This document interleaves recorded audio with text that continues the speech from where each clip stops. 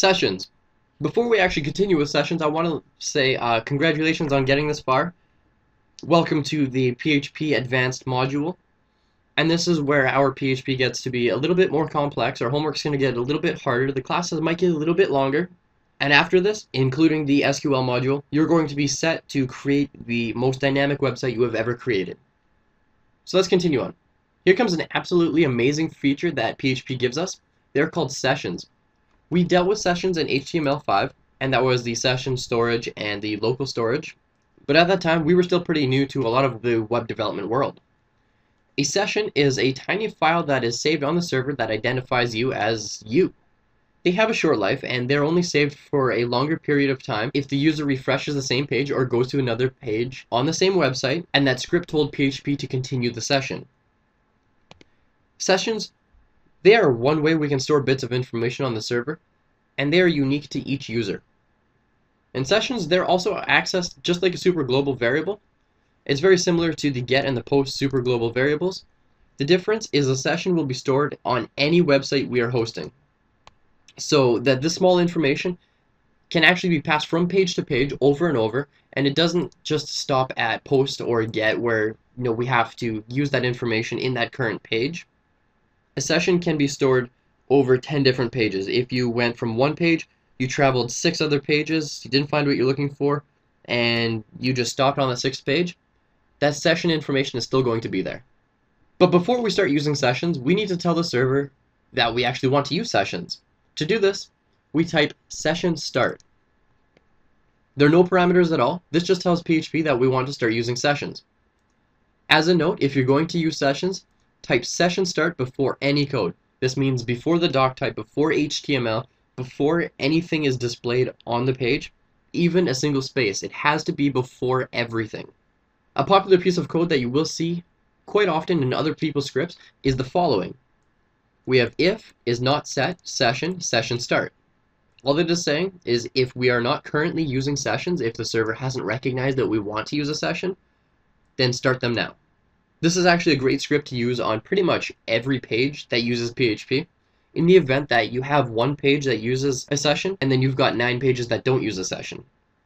If a user goes on the page that uses a session, starts a session, has a session variable stored, and then moves one or two pages deep into other parts of the website that don't use sessions, and does not have session start at the top of the page, then that session is going to be destroyed and it's going to have to recreate another one.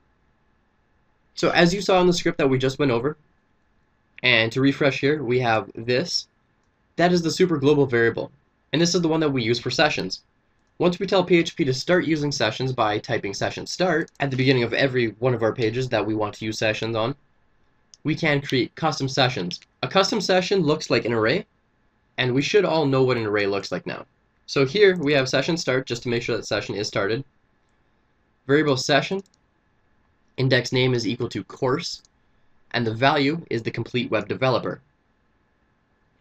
With that, we can use session course to access the complete web developer value at any time in any scope. So it can be inside or outside of a function and we can access this. With this, we can write as many sessions as we want. But remember, the more sessions we write, the more space is going to take up on our server. And that's going to slow the server down a little bit. It won't be noticeable until you get probably a few hundred thousand sessions going at any time. But that also depends on your server, its capability to keep up with all that. And even at then, if you've got a good enough server, you might not even notice then. But if we're talking about Facebook-sized websites with over a billion users, that's a lot of server space and processing power to maintain all those tiny files. Now, if Facebook used one session for every user that logged on, which is an average of 600 million users a day, we're looking at 600 million sessions. These are tiny little files. They might only be a couple bytes or a couple kilobytes big, but that adds up quickly, and sorting through that can take a lot out of a computer. Now, what if we used three sessions every time we logged on to Facebook? If we ended up using three sessions every time we logged on to Facebook, or for a different app on Facebook, or something like that, then with 600 million people in the course of a day, we're looking at 1.8 billion different files. Now to sort through all that can be very devastating on a server. Now that we can start sessions and create custom sessions, we should know how to check if a particular session is set. To do this, we use the isSet function. We already know how to use this. And we use that with the exact session variable. Basically, this will add another level of security to your website. So let's look at the code here before we go to the demo page. We're going to write if is not set session, do we want to start the session. So we told the server, make sure sessions are running. If it's already running, you don't need to rerun it. You don't need to stop and restart it. Variable pass is equal to URL decode get p. Remember that's going to be in the URL. If pass is equal to tcwd, then it's going to create session pass correct is equal to 1. That means it's true. After that is going to say if is set session pass correct. So if this is a set session, it could be wrong or false. It could be 0. It doesn't matter. The fact is that this session is going to be set then it's going to echo to you, you entered the correct password at least once. If that session is not set, you've never entered the password correctly, it's going to echo back to you, you have not entered the correct password. Please try again. Now going to the demo page here, it says you have not entered the correct password. And I'm just going to bring this down a little bit here so you can see my URL bar. And notice how it's just, uh, the file is just isset.php. Now, if we added that parameter in there, p is equal to, because if we look back here, we're looking for URL decode get p. Variable p is up here. What if we wrote um, anything in here? Then it's going to continue to say that you have not entered the correct password, try again. Now, what if we wrote the actual value that we're looking for, tcwd? Well, it's still going to say that we have not entered the correct password and that we should try again. Well, TCWD, what we're looking for is TCWD, but this is all capital letters. This is all lowercase letters. What if we typed it with all capital letters, like this? Well, you see here, we have password is equal to TCWD, the complete web developer, in capital letters. It says you entered the correct password at least once. Now, if we change this back to, it could be anything or any value we want, anything at all. And then you notice that our browser automatically URL encoded this, so change the spaces to 20%. And it still says you entered the correct password at least once. That's because a session is now set.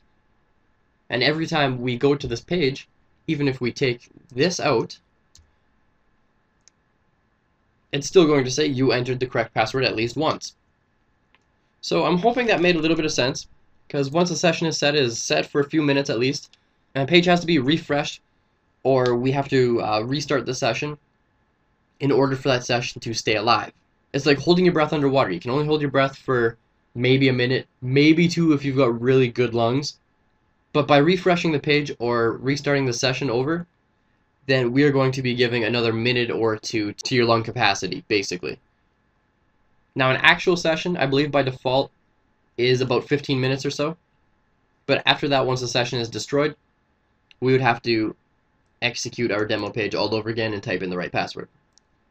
Now, if you ever want to end a session, all you have to do is write session destroy, and this will destroy all your PHP sessions. So if we have session start, this will start the session. Then we have session destroy, this will end the session. Now sometimes destroying a session like this doesn't take immediate effect, in that case, you'll want to use the unset function and unset all sessions manually, or through a loop. So as an example here, we have session start, session A, session B is equal to Alfred and Bob respectively. For each session, because we're going through the array here, as S for session for our key, and then B for our value, we're going to unset session S so this is going to change each time, right? This is our key. So it's going to unset A and, and it's going to unset B. And if we try to echo session A and echo session B, what's going to be displayed is nothing. Nothing displays in here. This little white space you see in here, that's because nothing is there. Those sessions no longer exist.